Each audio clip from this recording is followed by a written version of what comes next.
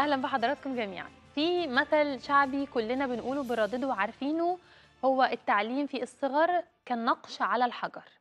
وطبعا المثل شارح نفسه وكنا بنقول إن الأطفال بيتلقوه هم صغيرين بيتحفر ويتنقش هنا يبقى صورة ذهنية في ذهنهم بيفضلوا فاكرينه طول العمر. وما ننكرش إن مصر والمجتمع العربي كله بيواجهوا شبح التطرف وأكتر ناس معرضين للشبح ده هو الناس الأصغر سنا إنك بتزرع أفكار جديدة في عقولهم بكل سهولة فممكن تزرع بالخطأ أفكار متطرفة وتقدر كمان توجهه لأنه مش هيناقشك لسه مش واعي. فوزارة التربية والتعليم هنا ووزاره الأوقاف حسوا بالخطورة دي وبالخطر ده قرروا إن هم يدربوا ويأهلوا مدرسين التربية الدينية علشان نضمن إن المعلومات والرسائل اللي بتتنقل للولاد تكون سليمة ومعتدلة ووسطية وخالية تماما من التطرف. هنتكلم عن تأهيل مدرسين التربية الدينية مع ضيفي دكتور نوح العيسوي وكيل وزارة الأوقاف. أهلا بحضرتك. أهلا وسهلا. أهلا بيك. طبعا. أنا في البداية مرحبا بيك واهلا بيك ومنورنا. أهلا أنا في البداية بناقش مع حضرتك آه، عشان نفهم ونستفيد. أنا غير متخصصة عشان الناس تكون فاهمة. بن بن بنقعد مع أهل العلم وأهل التخصص متخصصين يفهمونا ديننا يفهمونا أفكارنا المعتدلة. أنا أسأل اللي الناس حابة تسأله وأفهم وأستفيد مع حضراتكم. في البداية تفاصيل الدورات التدريبية اللي حضراتكم بتنظموها بالتعاون مع التربية والتعليم. آه، هي بدأت فعلا زي ما قلت من الخطر لما لقيتوا الموضوع شوية ابتدى يبقى فيه آه، أفكار ممكن توجه الأطفال أو الشباب أو كذا والبداية كانت منين ووصلنا لحد فين. تمام. آه، في البداية اسمحي لي أقول لحضرتك إن دي مش أول دورة تعملها وزارة الأوقاف. بسم الله الرحمن الرحيم. الحمد لله رب العالمين والصلاة والسلام على أشرف المرسلين سيدنا محمد وعلى آله وصحبه أجمعين وبعد. في البداية إن دي مش أول دورة لوزارة الاوقاف تعملها بالنسبة للحفاظ على آه، عقول الشباب وتحصين ال- الأطفال والنشء من الفكر المتطرف والتعصب والتشدد. مم. وزارة الاوقاف يعني من فترة من آه، حوالي تقريبا سنتين أو ثلاث سنوات. تعمل جاهدة على الحفاظ على عقول الشباب وعقول النشء من. الفكر المتطرف والفكر المتشدد. بدليل عندنا في الوزارة في مشروع أطلقته وزارة الاوقاف من سنتين اسمه مشروع المدرسة القرآنية مم. المدرسة القرآنية تختلف بس هاخد ثواني قبل ما نيجي على الأكاديمية لأن دي دي البداية ما دام أنت آه. حضرتك قلتي على الحفاظ على عقول الشباب والحفاظ على. النشء من مم. والأطفال من الفكر المتطرف هنجيب دي معانا لأنها دي أساسية برضه بالنسبة لوزارة الأوقاف مم. المدرسة القرآنية المدرسة القرآنية مم. إيه هي المدرسة القرآنية؟ المدرسة القرآنية تختلف كلي واختلاف كلي وجزء عن الكتاب اللي هو كان في القرى والأرياف أو آه. الكتاب ال- ال- كتاب المكاتب يحفظوا التحفيظ القرآن الله. يكرمك تمام مم. المدرسة القرآنية عبارة عن تحفيظ القرآن وغرس القيم الأخلاقية والإنسانية في عقول الأطفال. ودي لها فايدة كبيرة جدا. مين اللي بيقوم بالتحفيظ؟ دي مهمة ودي نقطة أساسية كبيرة جدا. اللي بيقوم بالتحفيظ ده ناس متميزين أئمة متميزين. ليس لهم أي انتماءات حزبية أو فكرية لا لكنهم بينتقوا على الفرازة زي ما بنقول كده. وزارة الأوقاف بتنتقي هؤلاء الأئمة على الفرازة بحيث إن هم يغرسوا القيم الأخلاقية والدينية والإنسانية في عقول الشباب وعقول النشء والأطفال ويحافظوا في الوقت نفسه على الفكر على الأطفال من الفكر المتطرف والفكر المتشدد.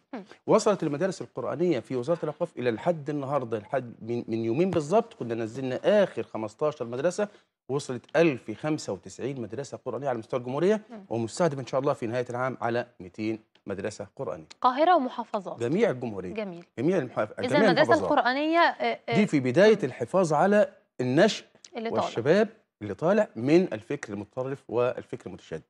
طيب إحنا بنحافظ على النشء نحافظ على الشباب. عملنا بروتوكول مع وزارة التربية والتعليم.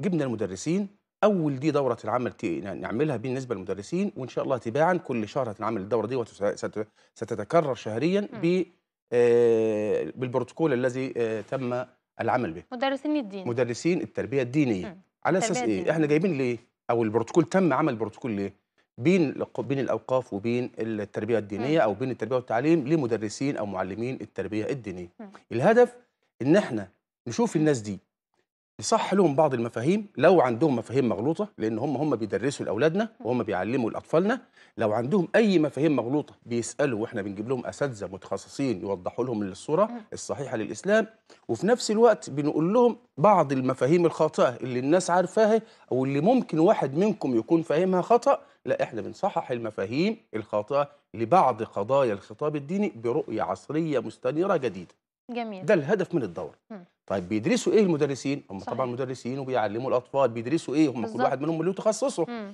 لكن إحنا الأساس عندنا إزاي ندي المنهج للمدرس اللي هيعلم الأطفال.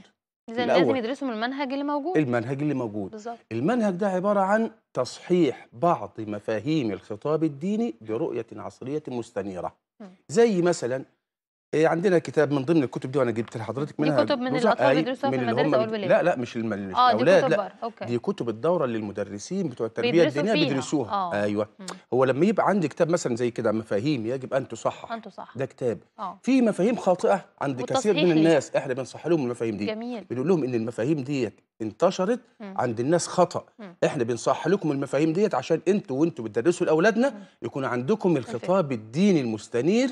اللي هو بعيد عن التطرف والتشدد المعلومة صح. وندي المعلومة وهو صحيح. نفسه يستفيد في الحياة الله هو كمدرس وكبني آدم بيستفيد يستفيد. أكيد بيستفيد. كمدرس أكيد بيستفيد.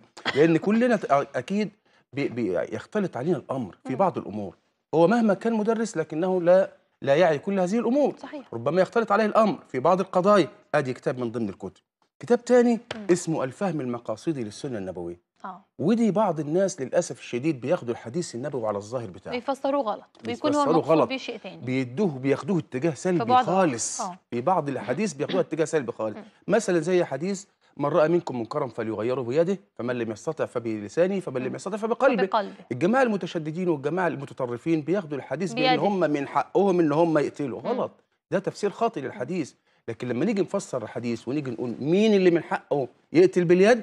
أو اللي يضرب باليد إنما هو ولي الأمر. الحاكم. ثم بعد ذلك مين اللي عنده القدرة إنه يشتغل باللسان أو ينصح باللسان؟ ان هم العلماء. العلماء. طيب أنا ما عنديش لا قدرة حاكم ولا ولا عالم مم. طب أعمل إيه؟ وأنا شفت المنكر قدامي. بقلبي. فبقلبي بنكره بقلبي وأسأل الله سبحانه وتعالى أن يهدي الناس يهدي. جميعا. صح.